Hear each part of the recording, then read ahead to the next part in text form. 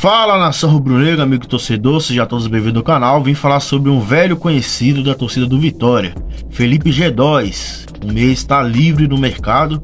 Será que seria uma boa opção para o Vitória? Vou falar isso no vídeo, vou falar sobre isso. Então, antes de continuar o vídeo, deixa seu like, compartilhe o vídeo, se inscreva no canal se não for inscrito, ative as notificações não esquece de deixar seu comentário. Se puder e quiser também, torne-se membro do canal para ter vantagens exclusivas do canal. Então, dito isso, bora pro vídeo.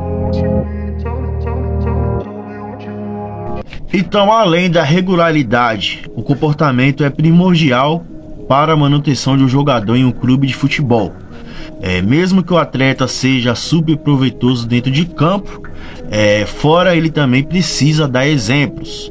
É, depois de não comparecer ao treino da última sexta-feira, e ser cortado da partida pelo treinador Paulo Bonamigo, é, o meia Felipe G2 não é mais jogador do clube do Remo.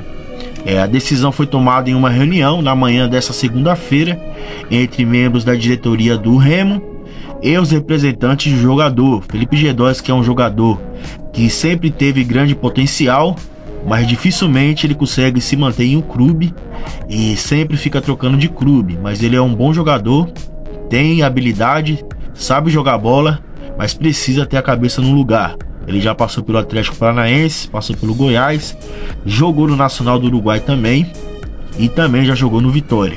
Ele teve uma boa passagem no Vitória e agora está livre do mercado. Eu acho que seria uma boa contratação dele se ele vir comprometido para ajudar o clube. O Jadson está saindo, eu acho que ele seria o ideal, o nome ideal para substituir o Jatos e ser o camisa 10 do Vitória. É um bom jogador, gosto do futebol dele.